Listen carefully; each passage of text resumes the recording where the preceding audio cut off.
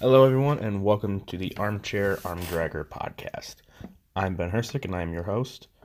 This is something I've been wanting to do for the since the beginning of the year this year. It's something I've had the idea of for a long time, but I've never had a chance to actually go and do it, and now I do. So here I go. I know you're going to be thinking another wrestling podcast, really, but look, as somebody who uses Twitter a lot, sometimes 250 characters isn't enough to talk about wrestling. Um, this week I'm going to be talking and breaking down the best of the Super Juniors tournament, starting on Monday. So, cutting it close here, but do it live. Why not? Um, first, I do want to say, as of right now, these will be every Sunday. I don't know exactly when I'll record them. I'm recording this on Sunday, so long night ahead of me again. Yay. But that's the plan. So every Sunday, once I go back to school for the second half of my senior year, I don't know how these will come out. Usually we have newspaper meetings on Sundays, so I'll wait and see how that works and see how I can work around that. Maybe record it earlier and upload it on Sunday. I'm not sure yet, but something along those lines is what I'm thinking. Before getting into the best of Super Juniors, I will say I'm going to be talking many different wrestling companies on this podcast. There's going to be WWE, there's NXT. Yes, I'm one of those assholes that considers NXT a separate company from WWE, but there's a lot of differences. They barely reference it in the main roster. That's a topic for another time, uh, not this week. Uh, be talking Progress Wrestling whenever I get a chance. I'll be talking Impact possibly, uh, and anything else I can find. Ring of Honor, NWA, all Elite Wrestling when that starts up in roughly 13 days. Very excited for that one.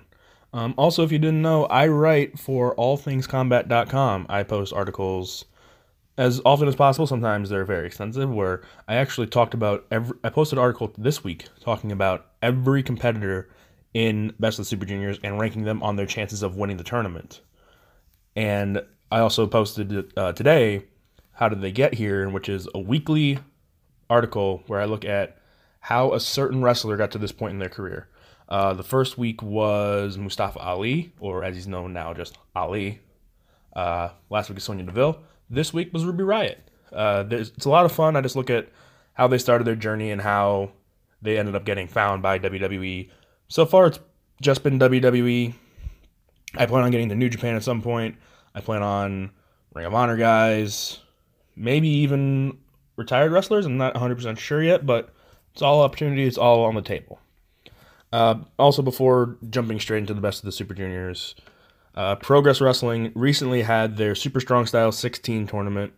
Uh, it is their annual tournament where they have 16 of the best wrestlers in the world uh, compete in a three day tournament to determine who gets a shot at the Progress Wrestling Heavyweight Champion. Right now, it happens to be Walter, which is very scary because he is one of the best big man wrestlers I've seen in a very long time. So I, I don't want to spoil anything, but good luck to the guy who won it. I will say I also did breaking down and predicting Super Strong Style 16 for All Things Combat, and my top eight ended up facing each other in the first round. My number two and number four faced each other in the first round in the main event of day one. I was not very happy. Jim, buddy, come on. Can you break the brackets a little bit better next time, please? I know it's a random draw, but come on. Don't put Ridgeway against O'Reilly in the first round when I want to see that as my semifinal. Yes, this is just me being annoying, but please do something about that. Um, so, Best of Super Juniors. For those of you who don't watch New Japan, you're probably wondering, what the hell is this tournament? I've heard about it, but I've never seen it, and I don't know anything about it. Well, that's why I'm here. Uh, Best of Super Juniors is New Japan's annual beginning of summer tournament to determine who gets a chance at the IWGP Junior Heavyweight Championship at Dominion. Uh, also at Dominion this year, they have to compete against Chris Jericho versus Kazuchika Okada for the IWGP Heavyweight Championship. Uh, Dominion's already looking like a great card. For those that might know a little bit, Dominion was the pay per view last year where it was Omega versus Okada 4, two out of three falls, 67 minute, seven star Meltzer Classic if you go by that system. I personally don't, but I will say it is a good match, but you have to have time on your hands to watch it.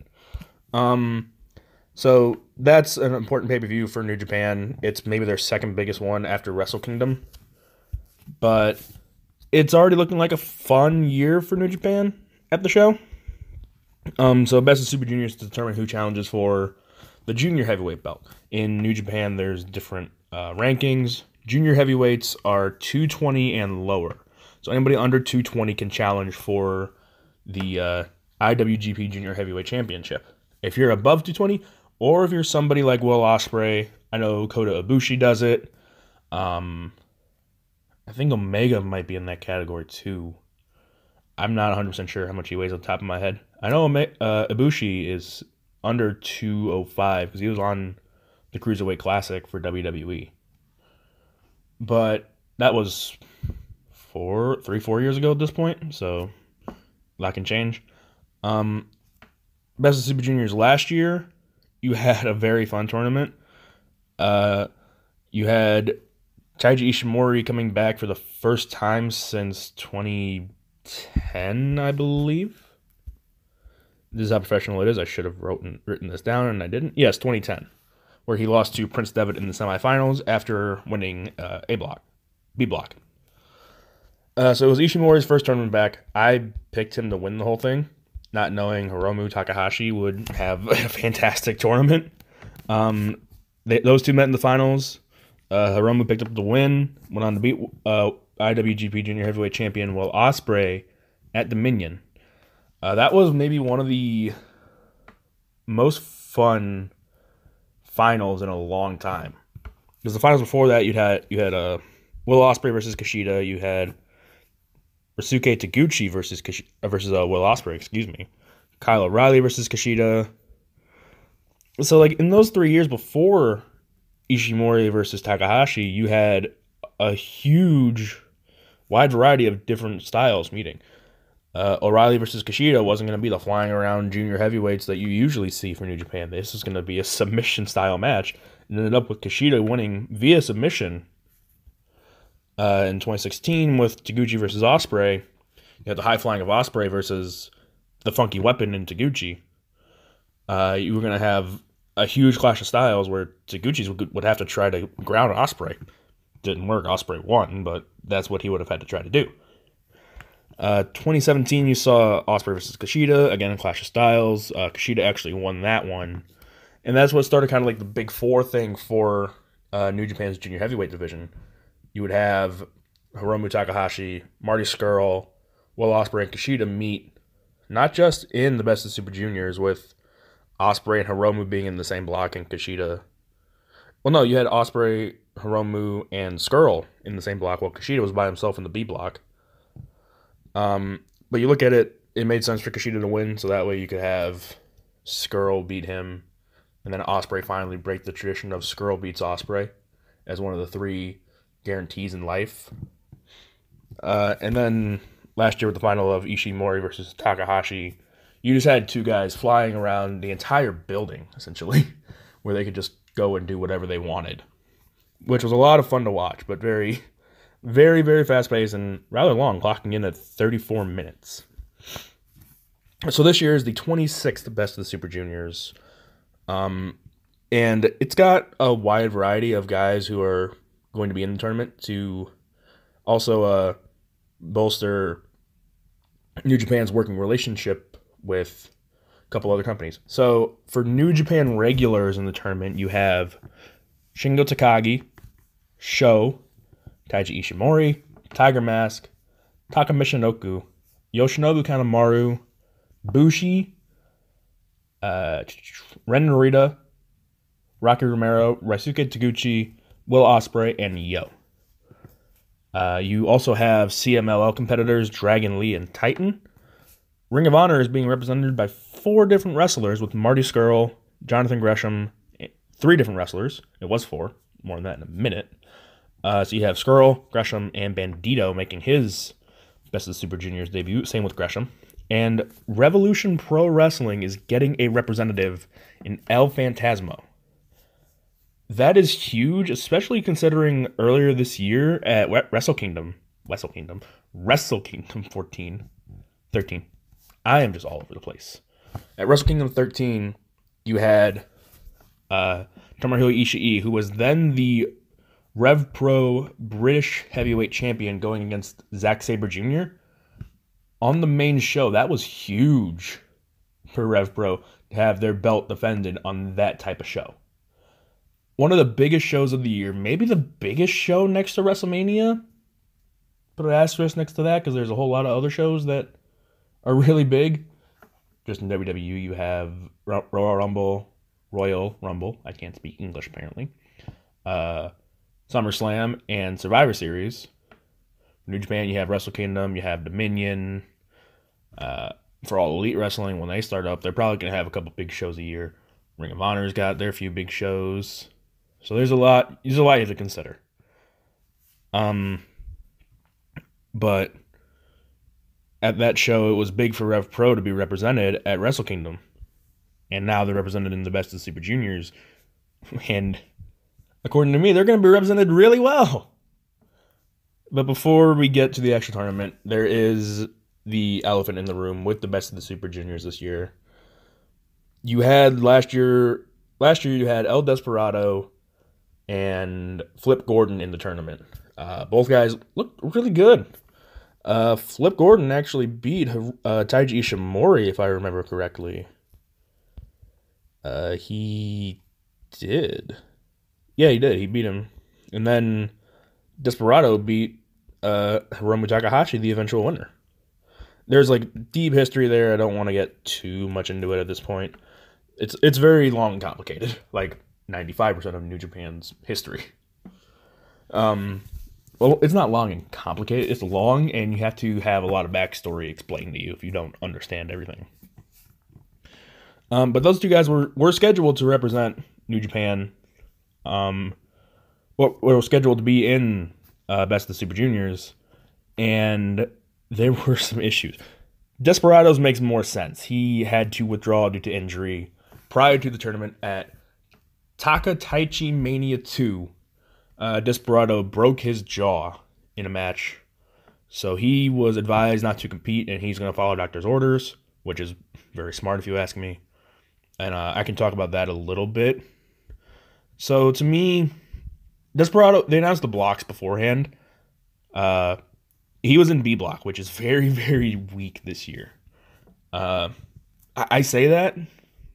I, I'm not an authority on this matter, but it's very weak to me, in my opinion. Uh, so you have you were gonna have breakout guys, and I thought Desperado could have been one of those guys. Especially you look at his stable, Suzuki-gun, which is led by Minoru Suzuki, aka Satan walking this earth, he would have been a perfect guy to have a breakout tournament because of the members of Suzuki Gun that considered junior heavyweights, you have Zack Sabre Jr., who's busy with everything he does in the heavyweight division, tying up Tanahashi in knots, uh, caving in Tetsuya Naito's chest, and all those other things. So he's going to be a little busy at that division for a while. Um, you have Taka Michinoku, you have Yoshinobu Kanemaru, and you have El Desperado. Of the three, Desperado is A, the youngest, but B, to me, he's the best wrestler of that group. Yes, Michinoku is good, don't get me wrong. I think Michinoku is great, but I don't think he needs a run now with this type, the new type of Super Juniors. You have guys that fly around the ring. Michinoku's going to struggle to keep up to keep up with that. So that kind of eliminated him for me. Plus, he's had his time in the sun, and I think he's willing to have somebody else, you know, in the limelight and have the chances that he's had in the past. Uh, and to me, I'm not the biggest fan of Yoshinobu Kanemaru. I'm. It just doesn't click with me. I don't know what it is. I have nothing against him. I think he's he's a decent enough wrestler in the ring. It's just something doesn't click, and it's annoying when it's like that. Like you know they're good. It's just doesn't work for everybody. And that happens to me with Kanemaru. So I thought Desperado would have had a great tournament. He had a fantastic draw too. Uh, he didn't get Ospreay till the second half of the tournament. Spoilers for the rest of the block, but well, Ospreay was in the B block, still is in the B block. Um, so that one is at least understandable with Desperado breaking his jaw. What is annoying is the one with Flip Gordon. Uh, Flip Gordon represents Ring of Honor. He is from the United States, so he has to get a working visa to even be able to compete in Japan or around the world for that matter. And he just recently came back from injury. His first match was back at the G1 special uh, in Madison Square Garden, where he teamed with Juice Robinson and Mark Haskins to go against the team of Bully Ray, Shane Taylor, and Silas Young. Uh, he was victorious in that, and he looked really good after just coming back from knee surgery. So it was going to be exciting to see him in the best of the Super Juniors this year. He was also in B Block, which was going to be a great draw for him. Um, he had, if I can remember how this works, he would have had Robbie Eagles. He would have had, uh, where the hell is Ren? Rocky Romero, and he would have had uh, Bandito really early. You would have had Desperado first match, but that wasn't going to happen with the injury. The issue with the visa has been a big thing for New Japan recently. They had a problem when it was new beginnings, where a lot of guys couldn't get visas to work in the United States, which was really annoying because you had to take a lot of big names off the card. Um, and you had guys that were going to be fun to watch at the shows. All of a sudden, nope, no, no, they're not here. Sorry. But New Japan needs to figure this out. They can't just go week after week waiting for the last minute to, to get the visa issue in order. They have to figure this out now, which is going to be a long and complicated process, but somebody has to do it. And if it's Gedo, if it's uh, Harold Meij, I don't know whose job it is exactly, but somebody has to do it, so they need to get on that. Uh, both guys were replaced in the tournament. Um, Flip Gordon was replaced by young Lion Ren Narita, who, if you don't understand the New Japan system, and if you watch WWE a lot more, the New Japan Dojo is where the young lions go. When there's somebody who wants to become a pro wrestler, it's essentially the performance center. Um, there, they learn how to be a pro wrestler and they train every single day for it. Uh, Ren is one of the young lions in it. Uh, another name is Shota Umino, who is son of legendary referee Red Shoes. Um, you also have Tomoyuki yeah, I'm saying Tomoyuki Oka, who is currently on excursion in the UK, and Hire. I'm not good at names. Okay, Hirari, H I R A I, Kawato, who is currently in Mexico on excursion. Uh, Narita and Umino, I think, are ready for excursion, but it's not up to the fans. It's annoying, but it's not our choice. Uh, but I don't expect a lot from Narita. I expect to have him look good. He's going to learn a lot in this tournament, but it's not going to be enough. I don't think. Uh, more on that in a little bit. Um, and you have him in a block that screams breakout star. Narita's not going to put up 15 points in this block and win it. It's not going to happen. I think that they're both ready, and it's going to be interesting to see how much longer they hang around. Um, if you're wondering how the well the Young Lion system works, uh, some of the graduates are wrestlers you probably have heard of. Um, Roshi Tanahashi, Hiroki Goto, Finn Balor, Tetsuya Naito, Taichi, Yoshihashi, Kazuchika Okada, Tama Tonga, and uh, recently, the most successful uh, class, you had David Finlay, Hiromu Takahashi, Juice Robinson, Sho, Yo, Jay White, and Toa Henare. Henare seems to be set for something. I don't know what, but hopefully he figures it out. So Narita is replacing Flip Gordon, which is a big shame because I think Flip is fantastic. And to me, at least, Narita seems like a step down simply because of the limitations put on the Young Lions. Um, the other person replacing Desperado is, and a lot of people are going to get this name wrong, me included. Uh, it's going to take a little while to get used to it. I'm going to say it's Douki. D O U K I. I tried to find as much on this guy as possible, and it's almost impossible to find stuff. He had two matches from what I could find, and both were tag matches. There's not a singles match I could find. So I was like racking my brain trying to think of a way to describe this guy. Uh, excuse me. Taichi did it very well. He is a hired gun for Suzuki Gun for this tournament to replace Desperado, which is going to be very fun to watch and see what Douki can do through the tournament. So let's talk about the tournament itself. How it works this year is there are 20 wrestlers broken into two different blocks. There's A block and B block. Creative names, I know. Um, you face everybody once. It's a round robin where you get two points for a win, one point for a draw, which has not happened since 2007, and zero points for a loss. Um, you have a 30 minute time limit to get the match done, and then your points are dispersed.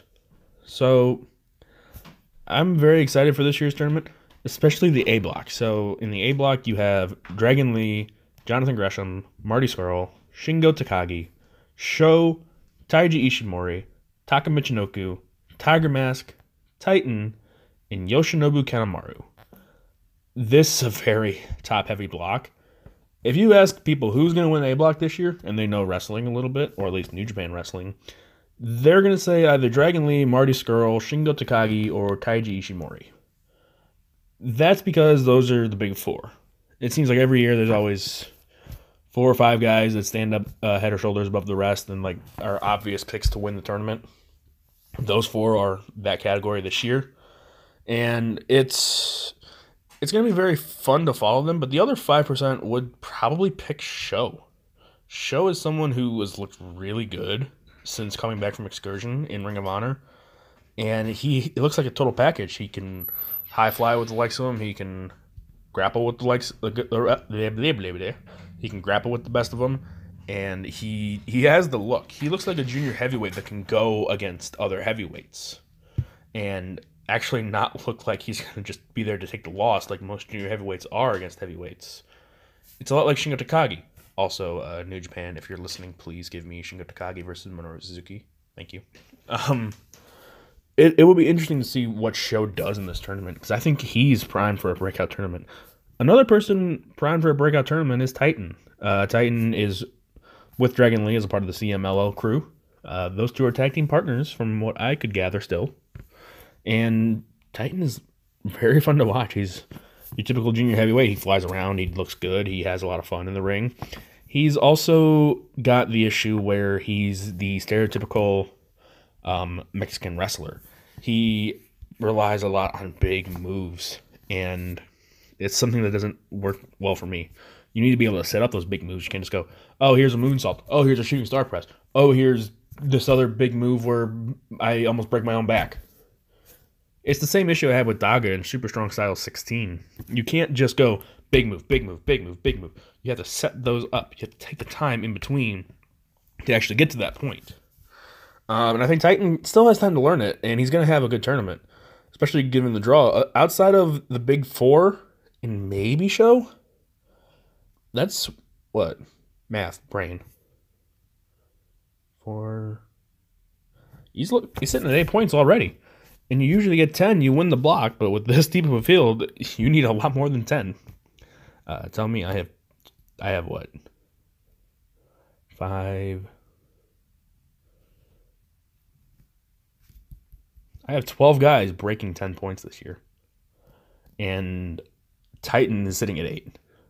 I don't remember how I got that 8. Um, probably losing to the big 5 ahead of him, but yeah, so with A block, you have the big four. It's probably going to be Takagi, Scurll, Lee, or Ishimori. Um, looking at some of the big matches, A block starts with a huge, huge night one. You have Shingo Takagi versus Sho. These guys have a little bit of a history with the Los Ingobernables de Japón junior heavyweights of Takagi and Bushi chasing after uh, Roppongi 3Ks, Sho and Yo for the junior heavyweight tag titles. Um, Takagi and Bushi won them at Wrestle Kingdom in a result I think 99% of people saw coming. That was maybe the most predictable of the Wrestle Kingdom matches. So, yeah. Um, but we haven't seen these two in singles action. I think this is going to be Shingo's first big like singles thing in New Japan.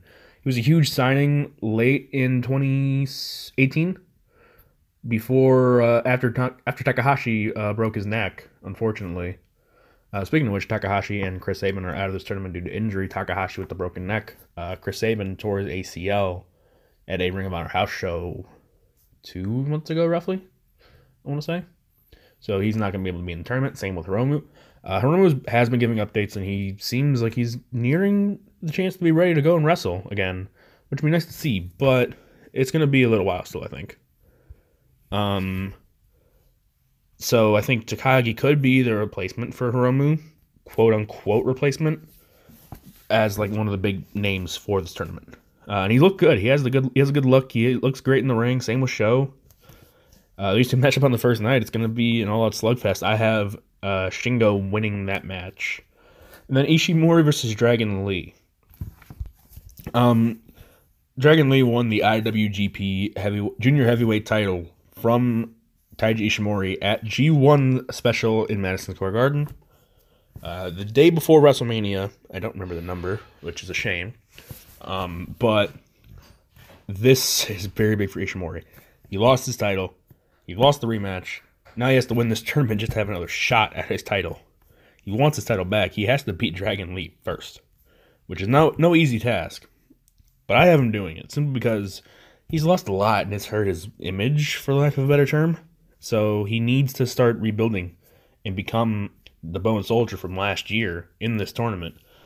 I think he gets it versus Dragon Lee, which would be very important because if you are a singles champion, like I believe Dragon Lee is the only one in this tournament who has a singles title right now. Uh, he would have to if he wins the tournament and he was able to retain at Dominion, he has to face every single person he lost to. So he can't have two, three bad nights in a row. He can only have one bad night. He can afford one. If he gets two or three in a row, he's going to have a lot of title defenses coming his way. A lot like they kept talking about Juice Robinson in the G1 uh, Climax tournament last year because he lost so many matches in the beginning and then won three of his last four, I believe. Um, so that's going to be a big one night one. And Ishimori is going to have to start building back up his image, which is very important for him. Um, night three, there's three interesting matches here. Um, let's start with Titan versus Shingo Takagi. Like I said, these are two big two guys that like big moves and hit very hard. Um, you're gonna have Titan flying around, but it's gonna be Takagi's goal to kind of try and ground him, which is gonna be very key for him to win. Um, since I think Shingo is gonna have a great tournament, I have him winning. Uh, but it's not gonna be an easy one. People are gonna kind of like be like, "Oh, okay, it's it's Shingo Takagi. We've seen him wrestle so many times. We've seen Titan not as often, unless you're a typical viewer of CMLL, and you're gonna have him be kind of written off in this match. You think Titan's gonna stick around and uh, Shingo's going to have some issues, which is going to be interesting to see and see how he deals with that. He's the former face of Dragon Gate, essentially. So you have to think he's ready for that kind of challenge. Uh, then you have the main event of night three is Dragon Lee versus Sho. I said Sho is a big name and he's going to have a lot of good matches. This could be his best match of the tournament and his best singles match since last year against Marty Scurll on the final night of block action. Uh, you have him going against the reigning IWGP Junior Heavyweight Champ, and he's going to want to look good, but I don't know if it's going to be enough because I don't think they want Dragon Lee to suffer back to back losses in the tournament. I'll take Dragon Lee here, but I wouldn't be too surprised, honestly, if Sho pulls the upset. The other, the third interesting match for night three to me is Marty Scurll versus Taiji Ishimori. These two are former Bullet Club brothers and after the uh, whole turn with Tongans and Ishimori siding with them at whatever show that was, that was the American show. The G1, I don't want to say it was the G1 special in San Francisco. I don't remember for a fact though. So you have them finally facing off one on one. It's going to be Ishimori's speed and striking against Scurll's ground based offense.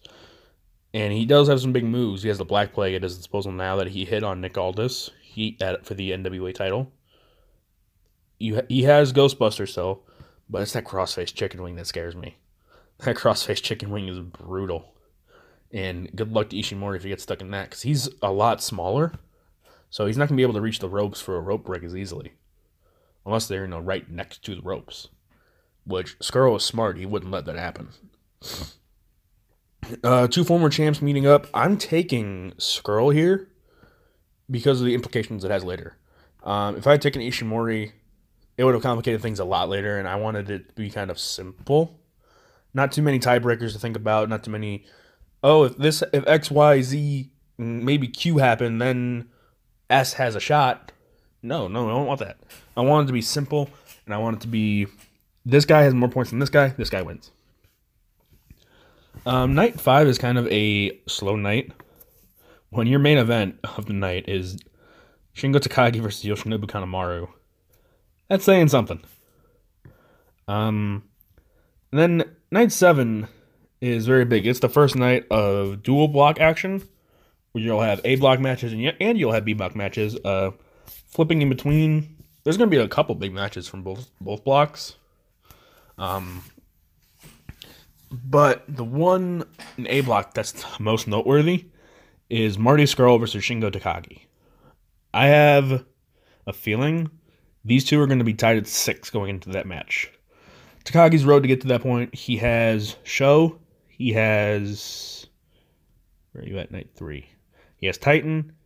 And on night five, he has Kanemaru. Three very winnable matches. Uh, he's beaten Sho before. You could do it again. Why not? Um, and then Scurll, up to that point, he has Gresham. He has uh, Ishimori. And he has Tiger Mask. Two winnable matches in that big one with Ishimori. Um, if he beats Ishimori, he does have to watch out for that upset special waiting there for him at Tiger Mask. I don't know if Tiger Mask would be the person that beats Scurll first in this tournament, simply because he's more of the guy who's ready to be there to put over the next big star or the big star of today, like he did last year with Ishimori. That was a block, right? Yeah, because of uh, him and ACH on the last night. Very weird. I remember that because a block. Oh, a block, A C H. Hmm. Anyway, getting off topic here. um, one episode in, and I can't keep a simple a simple mind. Yay. Um, so I have those two at six going into into the night. Um, Ishimori that night would get six points. Same with Dragon Lee. So that main event between Scurll and Shingo, I believe is the main event. The other option is Ospreay versus Phantasmo, which would also be a great main event. Um, that match with Scurll versus Taka- uh, yeah Shingo Takagi would be very very big. That would mean somebody would take the lead at eight points, and I'm taking Shingo Takagi to do that simply because of I'm relying on something big on the final night, which is going to be very very tough. But I I can really see it happening. Um, but Shingo matches up very well against Scurll. Scurll's not the hardest hitter, where Shingo makes everything look just brutal. And I think Scurll would have a tough time against uh, Shingo. And it's it's a tough call, really. I kind of debated about it for a little while. Do I go Scurll? Do I go Takagi? Well, if I do this, then that's going to happen. And it's it's a whole big wrestling scenario that always plays in my head whenever I watch wrestling. Um, but I am taking Shingo Takagi, which will give him the lead at eight points at the halfway point of the tournament. There are 14 nights, and that's night seven. Um, night eight doesn't look like too many big things. Uh, well, two actually. Not I'm actually looking at the right side of the paper. Um, you have Sho versus Marty Scurll, and you have Dragon Lee versus Shingo Takagi. You also have Ishimori versus Kanemaru, but who cares about Kanemaru? Uh, easy two points for Ishimori. Would put him tied for the lead with uh, Shingo at eight. So you then look, you have Sho versus Scurll. This is the rematch from last year. Last year, uh, you had Hiromu Takahashi, Kushida, and Marty Scurll tied at eight. Going into the final night, uh, Hiromu and Kushida were going to go against each other, while Scurll had Sho. All Scurll had to do beat Sho, get to the back, and hope for a draw. Because in, in block action, he lost to both Hiromu and Kushida. But Sho had other ideas. Sho went out and did what nobody thought he would do. He beat former IWGP champion and the person who was in that big feud with Dalton Castle for the Ring of Honor heavyweight title, Marty Scurll. He beat him on the final night to cost Scurll a shot at the finals. if you don't think Sho has that in mind going into this match and Scurll's not looking for revenge, you don't watch enough sports. That is a big, big factor going into this match. All that being said, I'm thinking Scurll. Sorry, sorry, Sho, but your time's coming, bud. Don't worry. Don't worry. Um, and that is something I, I do want to address in the future. What is going to happen with Marty Scurll? Um, that could be next week, actually. There's a couple factors in there, and I'll I'll be willing to talk about that. Um, so that would put Scurll at eight too. So the big four would be tied at the big the big four would have three Ishimori, Scurll, and Takagi tied at eight. With Takagi having the tiebreaker over Scurll and Scurll having the tiebreaker over Ishimori. And then we get to Dragon Lee versus Shingo Takagi. I have Dragon Lee winning it, which puts him into this whole mess. Um, the reason I have Dragon Lee winning that match is simply because he's gonna be trying to ground uh, Shingo's going to try and ground Ishim, uh, Dragon Lee, excuse me. And it's going to be a tough task. I think you could look at Shingo and say he's not the type of guy to fly around the ring. He's fast, but he's not fly around the ring fast like Dragon Lee or even Ishimori. But I think he could try to ground Dragon Lee. The issue is Dragon Lee's just as good on the ground as he is in the air. He's a very good all around wrestler, and I think he's got enough. Shingo's going to be able to ground him for a little while, but not the whole match. There's no way. So I think Dragon Lee picks up the win on night eight, which puts the big four tied at eight points. Being trailed by, if the math is right in my head, one, two, three. Being trailed by Titan at six points. Which takes us to night nine. Um, or is that called the upset special night? Uh, I have Scurll and Takagi both losing to Taka Michinoku and Yoshinobu Kanemaru. There's a reason they're early in the in the card. There's not a reason for them to be later in the card if it's going to be a, a, huge upset. If it's later in the card, you're going to think, oh, this is an easy win for uh, Scurll or Takagi. Or you can think it early in the card, and I'm just overthinking this. But I think we could see the upset specials with Kanemaru and Taka Michinoku. I don't I don't like Kanemaru. I've said this a bunch already, but you always see an upset. And with Scurll's next match in the tournament, it would be a big match. Um, so he could be overlooking Yoshinobu, and Shingo could be doing the same. Well, he could just be also tired from Dragon Lee. I'm like looking at this as I talk, which is not professional, but I don't know what I'm doing. I don't think anybody ever knows what they're doing. So Fun. Um, I think with Taka, he has the experience to beat somebody like Shingo, which would be very important. Which would also open the door for Ishimori to take the block lead. Ishimori takes the block lead there at 10. So you would have everybody chasing Taiji Ishimori, including Dragon Lee. The main event of Night 9 is Dragon Lee versus Titan. It's either this could be me reading into it too much. I have Titan beating Dragon Lee. Titan beating Dragon Lee. I think I said that right the first time, but it sounded weird in my head.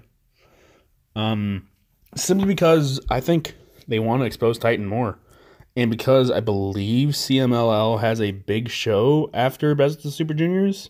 If Dragon Lee is the one to still be IWGP Junior Heavyweight Champion by the time that show rolls around, they could want that title match on the show, and you could have Dragon Lee versus Titan for that mat for that championship, which would be very interesting to see. I would like to see Titan get more exposure, which would be great for him. Um, he's he is a good wrestler and somebody who I think could be a major player in the future, if if New Japan is very interested in him, which it seems like they are, since they're bringing him back for his first Best of Super Juniors in a long time. So that would put Ishimori alone at 10. And then everybody would join him again because I have them all winning the next night except for Ishimori. Sorry, Ishimori. Um, I know I haven't touched much on Gresham, but it's his first tournament. I am not expecting too much out of him. He, he's gonna be a, he's gonna have a good tournament. I don't. I think he'll look good in the ring, but I don't know if that'll translate to points or not. And with with best of Super Juniors, you want points. Um, so night ten, I do have him beating Kanemaru. In the whole tournament, I haven't beaten Kanemaru, and I think it's Tiger Mask. No, it's Taka. I have Tiger, Tiger Mask beating um, Gresham on night eight. Yeah, eight. Um, so you look at it, you have on night ten, you have Scurll versus Titan in a big one that would be two eight point guys matching up. Uh, Shingo looking for a very important win over Tiger Mask. Dragon Lee versus Taka Michinoku just to even try and stay at it. And Sho versus Ishimori. So going into this, Ishimori would be the only one at 10. Uh, Titan, Scurll, Takagi, and Lee would all be tied at 8. Um, so that would mean they would all win it. I have Scurll, Shingo, and Dragon Lee winning on night 10, which will put them at 8. And they'll put them at 10. They would have 10. Ishimori would if Ishimori wins the main event against Sho, well, main event of A Block against Sho, that would put Ishimori at twelve. It wouldn't stop um, Scurll, Shingo, or Lee from winning the block, or even Titan, but it'd be very, very challenging from that point on. Um, Scurll would technically have the easier path, but it would be a challenge for him still.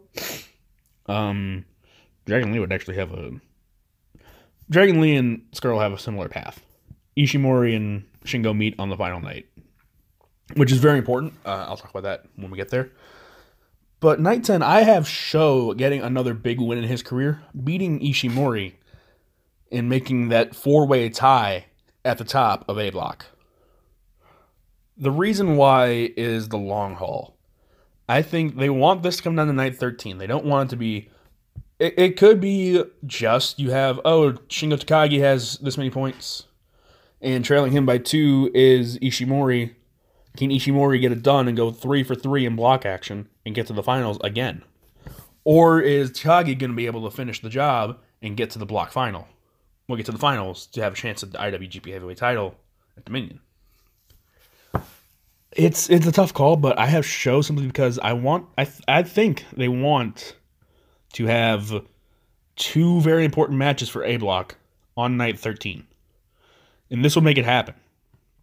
Plus, Sho is always looking for a big singles win whenever he's usually used as a tag. He's usually a tag wrestler. But as a singles guy, he could use a big win every year. Uh, he got it against Scurll last year, and I think he gets it against Ishimori this year.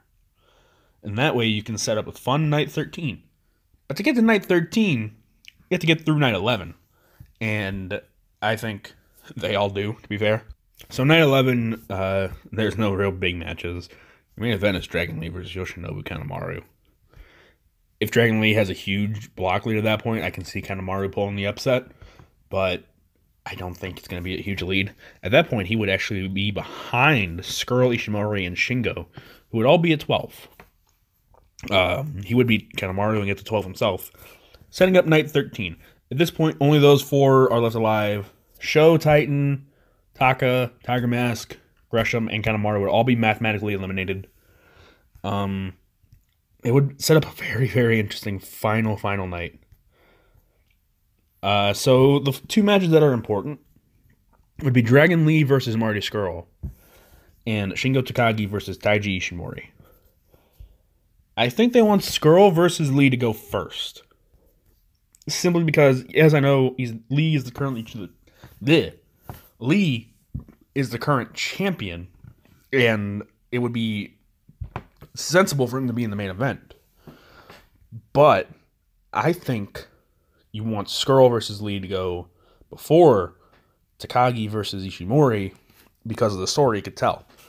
Scurll got to this point last year. He had a chance to win the block. He just had to win his match and wait.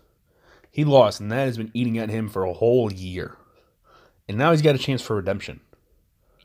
I think Scurll beats Lee on the final night to get to 14 points. And then the main event would be Takagi versus Ishimori. It would be weird because this has not happened, as I said earlier, since 2007. I think Takagi versus Ishimori ends in a draw. They both end at 13 points. Marty Scurll goes on to win A block. Scurll wins A block, and it would be very interesting because the last match would be a draw, so you'd have to have Scurll come out to face to stare down with the B block winner, or you have them both at ringside just to watch or something. I don't know. Um, I think I've debated on this one for a long time. Ishimori has looked bad recently with all those losses, especially losing the title to Dragon Lee. Shingo's been a tag team wrestler since he came to New Japan. Do they really push him to the moon and give him a chance to have a match for the IWGP Junior Heavyweight title? Do they go with the former champ or do they go with Scurll? Plus, you can follow the incentive of, like I said earlier, Lee, uh, Scurll's gone. I can't. I get names confused. Ishimori's gone two for two in block action. He's won his block twice to get to the finals. Shingo's never been in a, sh- a championship situation like this where he has to win to just have a chance to have another match. And if he wins that, he gets a shot at the title. It, it would be a huge scenario, but that's the reason I have Scurll winning it because it takes away that scenario, and you have a wrestler in Scurll who can then go on to win the title and set up a return for somebody. And I'll talk about that theory at the end here because there's still a whole nother block to go. We got B block, or should I say, Will Ospreay and everybody else. I flipped my notebook the wrong way. There we go. So in this block, you have Bandito, Bushi, Douki, El Phantasmo, Ren Narita, Robbie Eagles, Rocky Romero, Ryusuke Taguchi, Will Ospreay, and Yo. Who challenges Will Ospreay in this? There's a reason I picked Flip Gordon, and Flip had to go and not get a visa in time. So Flip, thank you for that. It's it's Will Ospreay versus the field essentially. I think 99% of people are going to take Will Ospreay.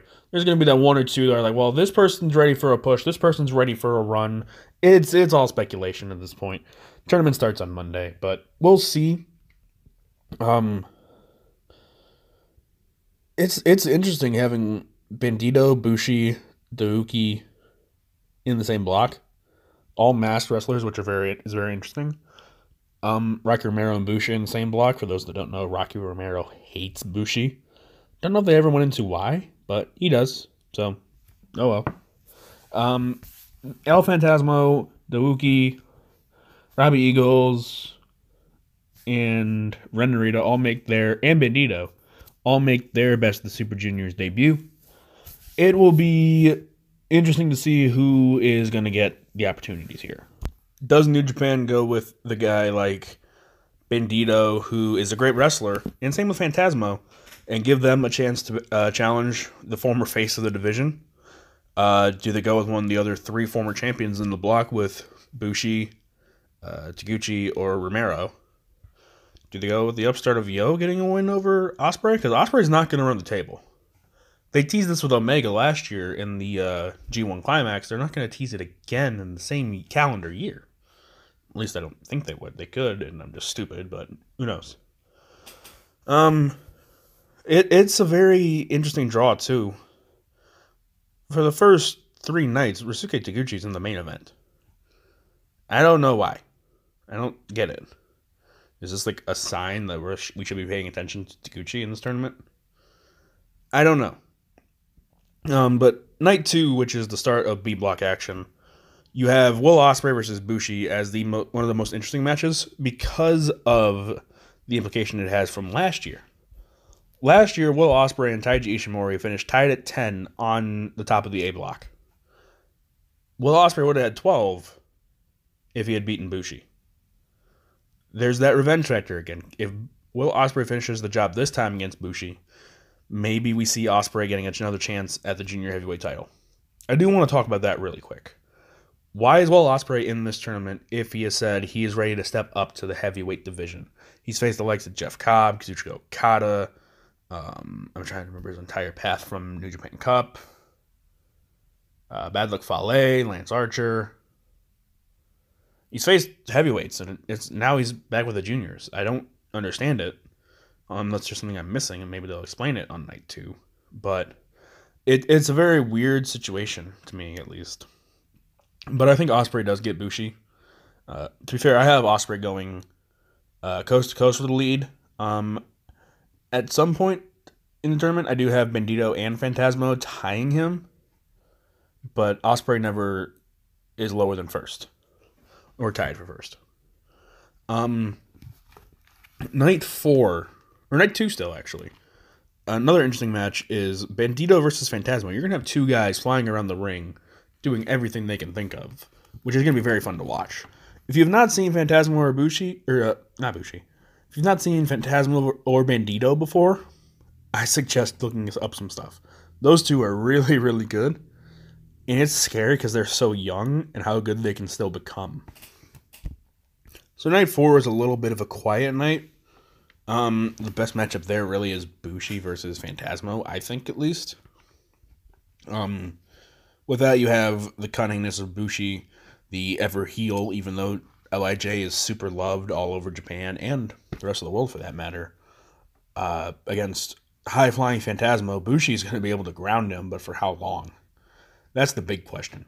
Uh, Yo versus Bandito can be good, but it's it's something that you have to build up, and with just two nights in between, it, it'll be tough.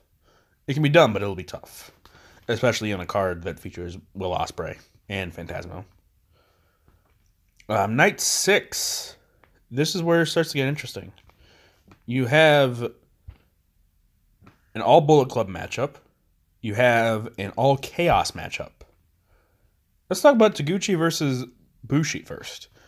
Two former champs who kind of have been pushed to the back of the New Japan Junior Heavyweight division. Um, I actually think Bushi is a lot better than people give him credit for. I think he's one of the better uh, junior heavyweights New Japan has at their disposal. Take out the guys from Ring of Honor like Scurll, um, Dragon Lee from CMLL. Go just based on New Japan, Bushi is vastly underused in a beloved stable, he's with the likes of Hiromu Takahashi. He's essentially the sixth fiddle at this point in Lij. I don't know if he's going to leave at some point, uh, but it would be very tough for him in general. Nobody is, except for Suzuki Gun, nobody's really in need of a junior heavyweight uh, top guy. And they all already have him. Bullet Club's got three at their disposal uh, with Ishimori, Eagles, and Phantasmo. Lij's got Hiromu when he comes back and Shingo Takagi. Sekigun isn't even a thing anymore, really. Taguchi Japan is Taguchi and friends, so any of them. Chaos has Will Ospreay and Yo and Sho. It, it, it's tough for Bushi right now. He's a great wrestler. He just doesn't get enough credit, I think. Uh, he can he can start to get that though if he knocks off Taguchi, which could set Bushi up for a big run. I do have one upset. I think after the upset though, how many matches are still there? So that, that would be halfway. So there would still be one, two, three, four. There's still five. And I after the one upset, I only have him losing one more match. I have Bushi having a great tournament now that I look at it. Um, but I think Taguchi versus Bushi will be a lot of fun. You have the ultra serious wrestler in Bushi. Uh, well, serious, ultra strict and ultra rule breaker against the guy that loves to go out there and just have fun and hit people with his butt. Um, that's that's my analysis on Ryusuke Taguchi. Uh, research paper coming soon. It it'll be a very interesting matchup, a good clash of styles, I think. But Bushi gets the advantage to me simply because of the fact that maybe they want to build up both Shingo and Bushi as kind of like power thing, power guys, to be seen as legit threats in the future for the junior heavyweight division even once Hiromu gets back, Hiromu can't win the title and hold it forever. Someone's got to take it, and then maybe Bushi or Shingo can come in and swoop it from him. Then there's the all chaos matchup of Will Ospreay versus Yo. Um, both guys are really good in the ring. Yo, to, to me, Yo is just too small. He's very compact and very built, but he's just very small. He looks like a small guy. He's not like somebody who looks like his tagging partner Sho or even Ishimori. It's just a weird thing with me and Yo. I think he's great in the ring. He's fantastic. He can do anything possible. Um, and against Ospreay, he's going to get a chance. Ospreay is going to make him look fantastic. But in a field like this, Yo could be in for a breakout year. Um, you have him as a guy who's solid, but he needs something to build off of. And a good tournament here could be that. He could be seen as the next junior heavyweight champion after next year's tournament. He he just needs a solid year. and he'll look like a million dollars. And he can make himself look like that, which is great. But the biggest matchup of night six El Phantasmo versus Robbie Eagles. You have the two newest members of Bullet Club going against each other, and it'll be very interesting. It's a good clash. Uh, but what's interesting is with Robbie Eagles, he can do a little bit of everything. He can fly high, he can be a mat based wrestler, he can get technical, he can get hard hitting. With Phantasmo, he's going to have to fly with him because Phantasmo's chick is going to be bouncing left, right, and center all around that ring. Um, but you look at it, it's it's a tough tournament for me in B block because it seems really easy for Ospreay to win, but Phantasmo and Bandito scare me a lot. These are guys making their New Japan debuts essentially. Is New Japan gonna be like, oh hey, welcome to the company. Here's a chance to win the IWGP Heavyweight Title. I just don't feel like they will be, but I've been wrong before, especially New Japan. I'm wrong about New Japan 95% of the time. Except for when I predicted Tanahashi to beat Omega, but that's neither here nor there. Um, you look at it though, he he being uh, Robbie Eagles, he doesn't scream junior heavyweight. He screams good wrestler, which will be interesting to see how he develops because he's still a young kid. Excuse me, burpee. He's still a young kid, but he's somebody who could develop into somebody that can be a major player in New Japan. That being said, I have Phantasmo winning, which, sorry, Robbie. Uh, so now we're at the halfway point of the tournament, night seven. Um, it's it's a very weird block, and especially a very weird night on night seven. You have Bandito versus Ren Narita, which is actually going to be very interesting to see. Um, Rocky Romero versus Yo, and a big All England matchup with Will Ospreay versus El Phantasmo. Bandito versus Narita is interesting. Bandito is a guy that flies all around the ring. Ren Narita is a guy that has basic offense. He doesn't have top rope brainbusters, corkscrew 630 splashes, or whatever these kids are doing nowadays. But he is a very he has a very solid base already. In there with Bandito, who is just going to be a human version of a tornado, he's going to be very interesting. It'll be a good match, I think. And Narita's going to learn a lot from Bandito. But Bandito's going to be winning that match. There's no way, there's no doubt in my mind about it. Um, but then you have Rocky Romero versus Yo. It's Roppongi 3K versus Roppongi 3K. You have a young upstart in Yo versus a former champ and somebody who's won seven or so. No, ten different. He's had ten different reigns with the IWGP Junior Tag Titles in uh, Rocky Romero, and it'll be something to look out for because of the fact that Romero has taught Yo everything Yo knows. That's the, the story they're telling there, but Rocky hasn't taught Yo everything Rocky knows. So it's essentially student versus mentor. Um, I think student gets the win because I think Rocky is one of the guys that are, is willing to build up the next stars, and that's why he's in this tournament. He's here to help build stars. That being said, I have him breaking ten points. I have all but four guys in B block breaking, all but three guys in B block breaking ten points. Looking at the paper. Um, and then with versus Phantasmo, that's two guys that are just gonna fly all around, do every single thing you can think of. Um, I'm just imagining that Os cutter. That Os cutter is gonna be something worth seeing in that match, especially if he, if uh, Phantasmo is doing his trick where he walks around the ring. If you remember Undertaker's old school, Phantasmo does that, but he goes all he can go all the way around the ring on the top rope. Imagine that. Ospreay generally pulls him down into an Os cutter. That's not how the Os cutter works. Never mind. No, it is except it'd be a reverse Oscutter because Ospreay instead of springboarding off the rope would be pulling him down into it. it it'll be a very interesting matchup, a very high flying affair. People flying left, right, and center. Um, there, there's probably going to be people that get hurt. I feel, which is a shame because both these guys are really good. Uh, I'm taking Ospreay because of the experience, and because of the fact that I don't think they're just going to give El Phantasmo a uh, match for the t- championship right away. Keep in mind, winner of B Block, in my opinion, is facing Marty Scurll. Phantasmo versus Scurll would be very interesting, but Phantasmo Ospreay would be even more interesting to me. Uh, spoilers: I have Ospreay versus Scurll. Uh, let's see, night eight. Night eight. The most interesting matchup.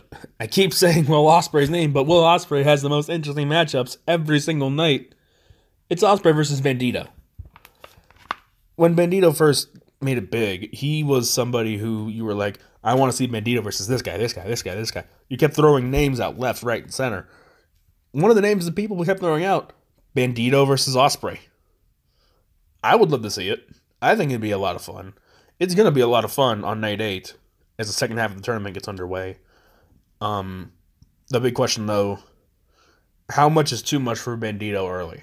Same with Phantasmo. But I feel like there's more trust in Bandito simply because of the fact that he's worked the likes of Dragon Lee and of Titan in this tournament before, and he's probably worked a lot with Ospreay and maybe even El Phantasmo for that matter. But with Bandito, it's already a name people recognize because he main evented um, All In. People recognize that name. And now he's going into a huge tournament, his first ever Best of the Super Juniors. This could be a tournament of the ages for Bandito and Phantasmo. And that's the reason why I'm taking Bandito to beat Ospreay because I think they see Bandito as somebody who could be the future for the junior heavyweights. Essentially, B Block is who's the future of the junior heavyweights. You could have Will Ospreay win and be like, oh hey, even though it's who's the future, the the past and the present still win. Or it could essentially be a changing of the guard of a sense. You would be like, okay, Ospreay has been the gatekeeper for a long time, and now he's handing the reins off to Bandito, Phantasmo, Bushi, uh, hell, even maybe Ren Narita, which would be a very interesting, interesting match. Which is one of the matches of Night Nine. Great, great segue there. Um, Night Nine's a quiet one for uh, in general. Night Nine was quiet for A Block and it's quiet for B Block. Most interesting matchup, really, Yo versus Bushi because of the history of Roppongi 3K versus LIJ. It would have been nice if it matched up with Sho versus Shingo. You just do back to back matches of that, but Sho versus Shingo's night one. Um, like I said, Bushi is somebody who's vastly underrated, and I think he can be great. He's a former champion for a reason. Somebody sees something in Bushi, and I'm very excited to see what the future holds for him. But I think it's time that he starts to win. He needs wins. He doesn't win singles matches that often. The last time I remember seeing him win a singles match, ugh, last year's Best of the Super Juniors. I don't even know if he's had a singles match since. He probably has, and I'm just dumb, but I don't remember it. Now, you have these companies that you have a working relationship with. NXT and Progress, Evolve, all the UK scene. You see these guys working with these companies. Let Bushi go and work with one of them. Maybe he becomes a champion over there, and he be, he can help bolster himself up. Then come back to New Japan with a better confidence and say, "I'm ready for this next step in my career." It's something a lot of people could do, but especially somebody like um Bushi needs it a lot. Somebody who is good and is a former champion, but just needs that kind of like kick in the butt to say, go do this. We know you can do it. Go do it. Uh, night 10. Night 10. 10 has some interesting mat, a couple interesting matches. Um, I've just talked at length about Bandito and Bushi, but they match up, and that could be a lot of fun to watch. Um, to me, it's always fun to watch masked wrestlers go against each other, but especially with Bushi and the Green Mist. I'm curious how that would work with Bandito. He doesn't have a lot of uh, facial area to get hit. Plus, he does have the bandana that he wears. I think it's just part of his mask, but if he can like pull it up above his eyes when Bushi goes for that, that'd be a really cool spot. I think.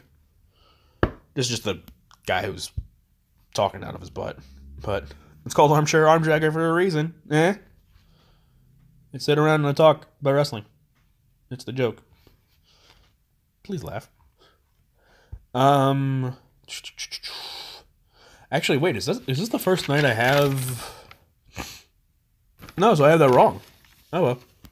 I'll fix that later. Um, math is not my friend. I had Taguchi at four points. I have Taguchi actually getting six. Now that I look at it. Um, but night night ten, you have Yo versus El Phantasmo and Will Ospreay versus Robbie Eagles. Um, I'm taking Yo here because if I don't, Phantasmo and Ospreay tie, and that's the reason I have Bushi over Bandito, so that way I can avoid unnecessarily complicated tiebreakers. And you can look at it and say, okay, Ospreay is winning the block easily, or one of the new guys, which is annoying. But it's like that's essentially the situation they're in a B block. It's an annoying situation. You're like, do we put over the young new guys that are fresh faces to the Japanese crowd, or do we put over the guy that we've known for years and the Japanese crowd loves? Do you take the risk or do you play it safe?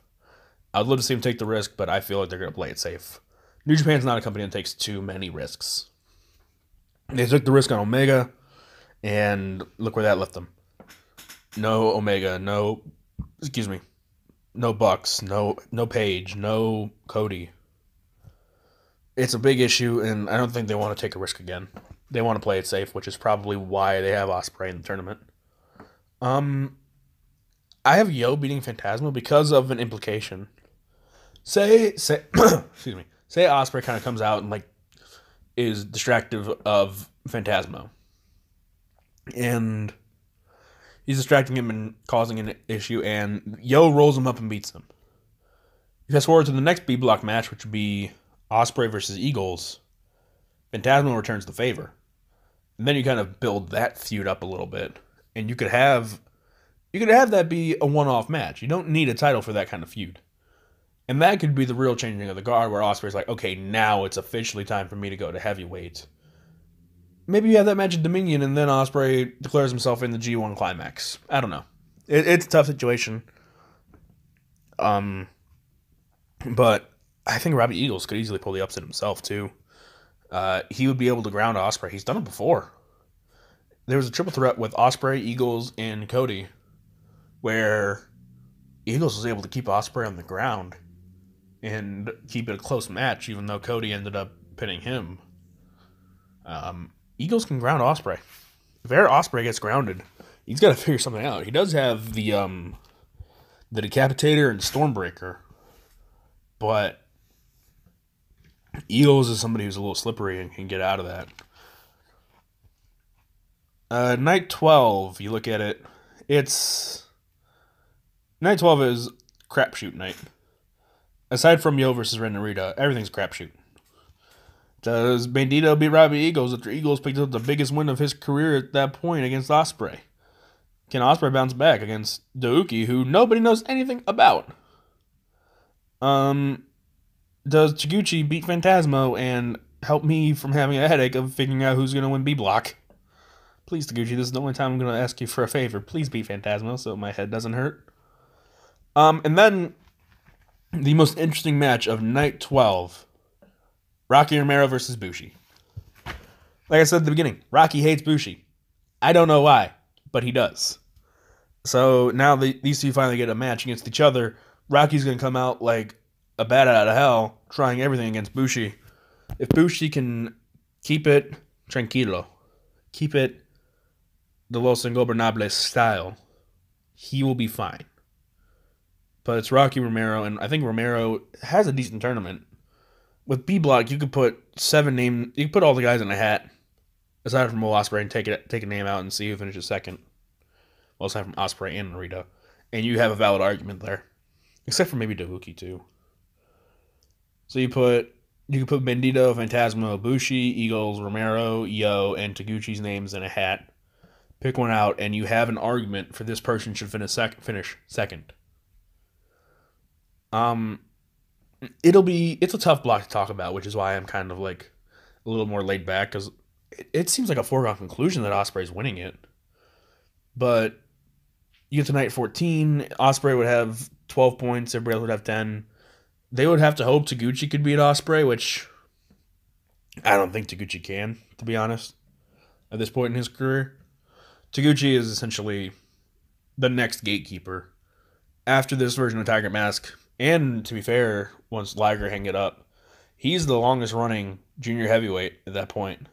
So he would have to be somebody that is kind of like, okay, now I'm going to be the guy that helps put over the young talent and help them understand how this works, which would be very helpful.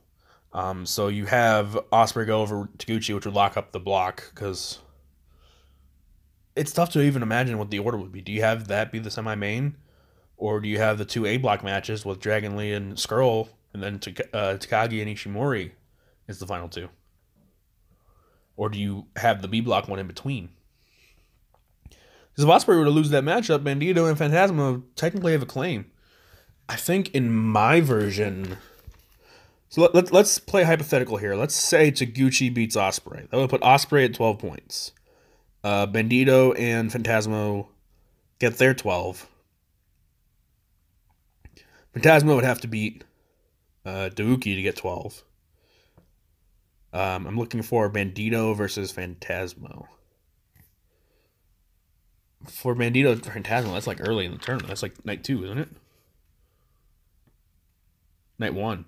Phant- or night two, yeah. Phantasmo would have the tiebreaker, so Phantasmo would win the, the uh, beat block. That would be inter- that'd be an interesting situation, but I don't see I don't see it happening. I have Ospreay winning the block easily.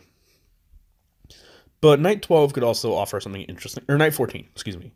Night fourteen could offer something interesting at that point, Ren Narita would still have zero points. I'm one of the guys who believe in tradition. Uh, the Young Lion would probably lose all of his matches in the block. But do, does New Japan try something new?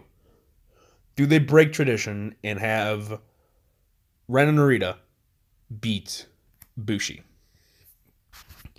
Which would, to me, signal that, okay, he's definitely ready. And he's going on excursion as soon as tomorrow. Um, do I still have that open? I don't have World Tag League open. Because if I remember right, uh, Shota Umino and I think it was Ayato. World Tag League. Let's see here from not those stupid engine linking. Tro- Stop touching the trophies. Stop it. Oh my god. Down here. Last year, yeah, last year, Ayato Yoshida, Yoshida, Yoshida, and Shota Umino finished with zero points. But you look at some of their matches. They went 11 minutes with Tenzan and Kojima. They look good in a lot of their matches. Um, I wouldn't be surprised if you have, um, you have Narita look just like that. Be very impressive, and maybe he picks up a win against Bushi on the final night. Maybe it's a roll up. Maybe it's something quick. Maybe it's a distraction from Rocky Romero, and Ren Narita is recruited into chaos. It could be something like that. It'd be a very interesting situation, but I I just don't see it happening. I think Bushi gets the win. So the final I have would be Ospreay versus uh, Marty Scurll, but let's look at how the blocks would play out. So for A block, it would be Marty Scurll winning the block at 14, Shingo Takagi and Taiji Ishimori tied at 13 for second, Dragon Lee taking third at 12, Sho in fourth with 10, Titan with 8, Taka Michinoku with 6, Tiger Mask with 6, excuse me, Jonathan Gresham with 4, and Yoshinobu Kanemaru with 4 this this makes sense in my head. It makes sense. Uh, but to be fair, I can see Scurll, Takagi, Ishimori, and Lee all possibly as winners. I could see a scenario where two of them finish tied and it comes down to oh, if Shingo beats Ishimori, then Lee advances because he has a tiebreaker over Shingo. But if Ishimori wins, Scurll advances because Scurll has a tiebreaker over Ishimori. That's like how this could work and it would be a headache to figure it out. So i think they want to keep it simple especially since they've got a lot of fans now. New japan wasn't big until okay it wasn't that it wasn't big. It wasn't this mainstream, I guess is the better term, until Omega Okada won at Wrestle Kingdom 11. So now they have all these new fans, all these people who are watching New Japan, and this is their this could be their first Best of Super Juniors. This is my second ever one that I'm going to be watching match for match, night for night. Hopefully, if my schedule works out with that. Um, but you look at it, there's a lot that they don't want to complicate. They want to keep it simple so the fans understand it. And it'd be simple to have Scurll finish with 14, Shingo with 13, Ishimori with 13, and Lee with 12. Or you could change the order. Maybe Lee gets 14, maybe Shingo gets 14, maybe Ishimori gets 14. Maybe we're all wrong and Yoshinobu Kanemaru is going to win the whole tournament. I really hope that's not the case, but who knows? Um, B block seems a little more cut and dry. Will Ospreay wins B block at 14, Bandito at 12, and Phantasmo at 12, tie for second. Then there's a logjam. Bushi, Robbie Eagles, Rocky Romero, and Yo finish with 10 points each. Uh, Taguchi finishes with 6, Douki with 4, and Ren Narita rounds it out with a big, lovely 0. So you would have the final of Scurll versus Ospreay. I personally am taking Scurll. I'm more of a fan of Scurll than I am of Ospreay, personally. But also, it comes back to the three things that are basic in life death, taxes, and Scurll beats Ospreay. It's that simple. And then he can win the title from Lee, and the reign of the villain continues. And who knows? Maybe that that's the issue with Scurll. It's like you don't know what his next thing is going to be. Is it all elite wrestling? Does he commit to New Japan? Does he stay with Ring of Honor for a long time? Does he go to WWE? We don't know. And that's annoying, but it's also a hell of a lot of fun. But let's talk about this scenario that I've heard a lot of people talking about, and it's in my head now, which is great. So, for those that don't know, at G1 at the G1 special in San Francisco, they had Dragon Lee versus Hiromu Takahashi for the IWGP Heavyweight Championship. Hiromu was defending, and these two have a long running history of just wanting to beat the ever loving tar out of each other. In that match, Lee went for one of his uh, signature moves. He has the opponent's legs under his arms. He cups their head against his. It's almost a releasing powerbomb suplex backwards. I don't know the name of it because I don't watch a lot of CMLL or a lot of Dragon Lee outside of New Japan. But uh, the way Hiromu took the bump, he landed flat on his ne- uh, straight on his neck and top in his head. You're supposed to land on it back first. So uh, Hiromu broke his neck. Essentially, he was able to finish the match somehow. All he had to do was hit, I think, two moves, and one of them was a time bomb, and win the match. But he had to vacate the title shortly after due to injury. This is how the whole new oh uh, Lij needs a another junior tag member, another junior heavyweight for junior tag league to go with Bushi, and that's how Shingo Takagi was brought in. But this has been interesting to follow Hiromu's been tweeting updates saying like this percent, that percent, this percent. And he's getting close to 100 from what I hear. I don't speak Japanese. Let's let's see his most recent tweet. Hopefully it is at least semi recent. I R that's a T. Romu. There he is. Uh, his most recent tweet is about Best of the Super Juniors and talking about the matches on night one in the press conference that was today. Apparently, Taka Michinoku was sick. Oh, there's a new trophy. That's cool. I'm just now reading Hiromu Takahashi's tweets. This is great. Let's see. He's just retweeting a lot he he has so many retweets of Best of the Super Juniors. Where's your own tweet? There's a picture of Bushi with rocks.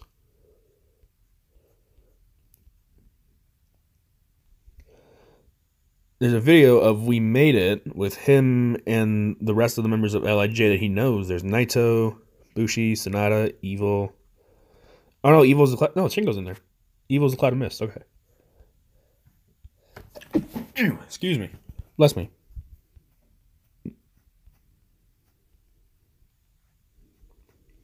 Okay, he hasn't tweeted in a little while.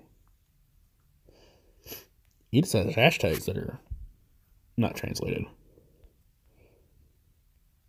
What does this one say from New Japan itself? Hiromu Hiromu Takahashi, Hiromu, yeah, Takahashi's latest diary this week. Why did you get out of the Best of Super Juniors members? Mystery of the mysteries approaches me. Oh my god, this is this is taking longer than I had anticipated. I apologize. Um, it's interesting. I can't really seem to find anything from him, which is annoying. So there's this scenario people are playing out. People are saying that Dragon Lee wins the best of Super Juniors, and he gets to pick his own opponent at that point. Uh, people are saying he'll pick Hiromu, or that he. What the scenario I would rather see is if Dragon Lee wins best of Super Juniors, or if he doesn't and he's defending the title at Dominion and wins, he wins, and then Hiromu returns, and you set that up for one of the next shows. How you could even set it up for one of the lead ups to the shows where Hiromu wins his title back that he never lost. It's it's a tough situation, and we don't even know if Hiromu's 100% yet, but we have to wait and see. That's one of the fun parts about wrestling. We can just speculate about this stuff. Uh, that is all I've got for today. Um, hopefully uh, this goes well.